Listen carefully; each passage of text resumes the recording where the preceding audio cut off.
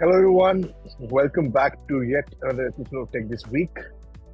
So today, you know, uh, I won't be talking about technology per se. So it's more about you know our identity, sovereignty as a nation, and the, and the audacity to dream big. Right? Uh, you may be wondering what am I getting into. So this is uh, uh, uh this episode is more topical.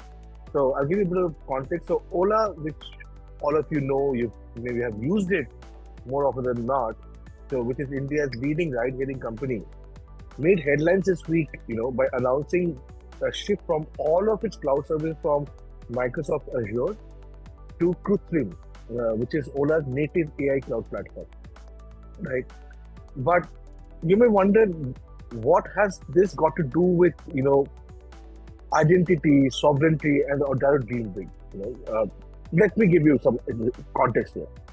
So we need to first look at why India really never had a strong foothold as far as global IT infrastructure space goes. I think more cultural than anything else. So the Indian business culture, you know, is often characterized by preference for stability, and probably, and which has changed significantly over last few years, is the low risk ventures, right? So this this aversion stifles innovation and discourages the kind of you know maybe the entrepreneurial spirit that you've seen in uh, more advanced economies and specifically clusters like the Silicon Valley.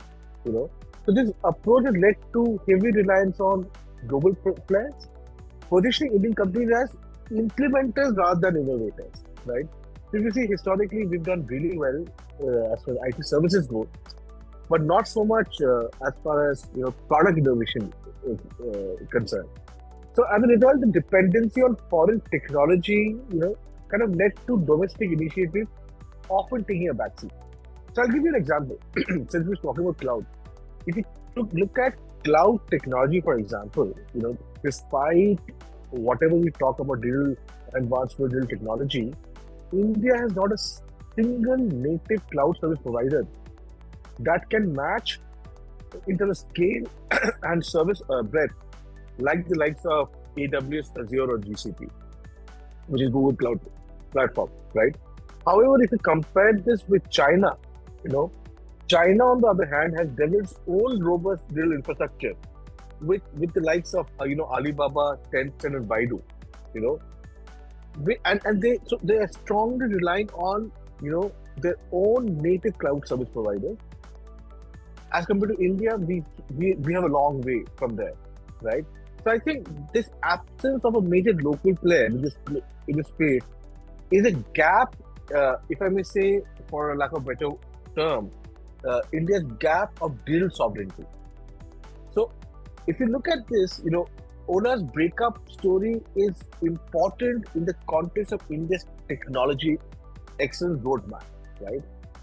Because historically, you know, many uh, telecom and IT companies in India, which are Indian uh, organizations, have shied away from competing directly with giants like AWS and Azure, right?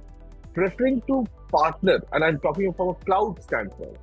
So, so Ola's bold decision is indicative of a new temperament in India's tech industry, signaling a shift from partnership to leadership.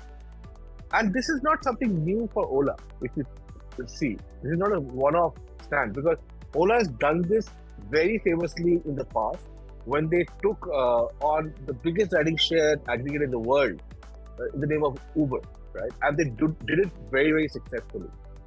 So, and so you have to also understand every company does not possess the cultural backbone to venture into areas which are dominated by tech behemoths like the likes of Google, Uber, or or, or, or, Amazon for that matter, right? So what what's the takeaway here, right? So in simple terms, you know, to become great, you need to step into an area of giants, right? It takes guts and courage to go against a giant like Microsoft. People might call it uh, timely announcement because uh, Ola's vision of launching Krutrim is around the corner. Is this a PR stunt? Time will tell. But to succeed in the cloud business, I think you, you have to also understand it takes more than nationalistic fervor right? I think it goes beyond that. Because at the end of the day, any organization which chooses, say, Krutrim AI over, say, AWS, uh, Google, or a Microsoft Azure will not be because it's Indian. It's because probably because offers or renders better services, or maybe offers them cheaper.